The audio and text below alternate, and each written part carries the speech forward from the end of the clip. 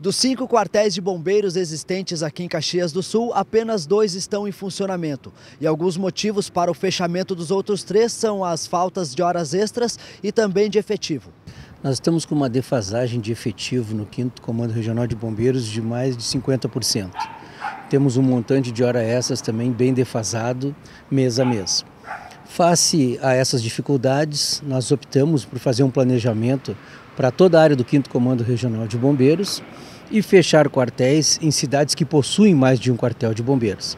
Para dar prioridade para cidades como Vacaria, Veranópolis, Flores da Cunha, São Marcos, que tem, possuem apenas um quartel de bombeiros, algumas são sacrificadas e no caso Caxias do Sul, que possui cinco quartéis de bombeiros hoje operando, nós temos a estação aeroporto e estação central. E eventualmente, eventualmente, Zona Norte, Riso e Cruzeiro. E em caso de duas ocorrências, o coronel explica como os bombeiros vão agir. O fechamento dos quartéis, ele, ele passa por uns critérios técnicos.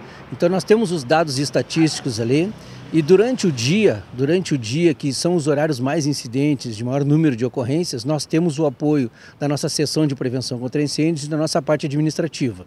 Hoje, cada servidor daqui de Caxias do Sul possui o seu equipamento de proteção individual.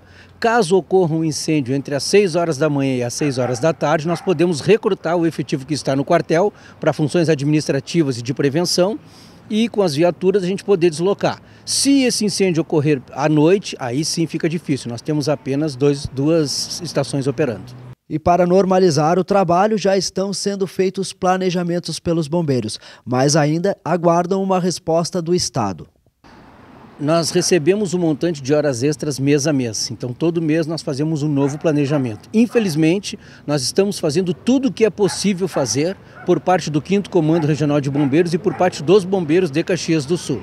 Nós aguardamos um posicionamento do comando do Corpo de Bombeiros, do comando da Brigada Militar e do governo do estado.